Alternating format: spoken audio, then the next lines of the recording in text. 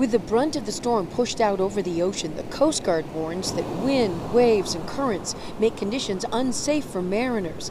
The howling northwest wind pushing against waves, and to the delight of surfers, whipping them up as they come ashore. It's a little scary when the conditions are this big, but it's still fun. You can get some good waves.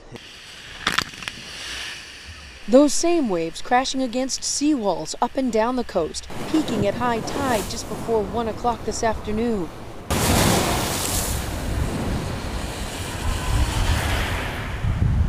Fortunately, no major erosion issues, no flooding in low lying marsh areas, but the windswept waves providing a spectacle for visitors.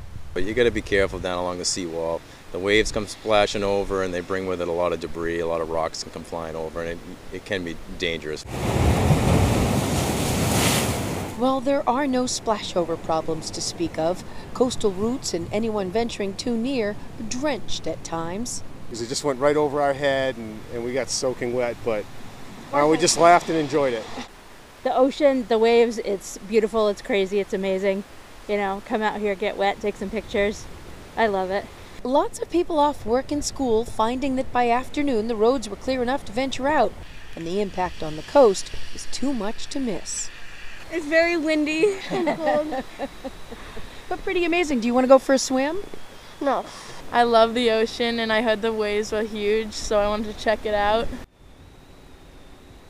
Well, the Coast Guard continues that warning tonight. The wind is still really howling here. And they warn whether it be commercial fishermen or surfers that even once it's left the area, the winds, the currents, and those waves will persist at sea. We're live in Hampton, Jennifer Crompton, WMUR News 9.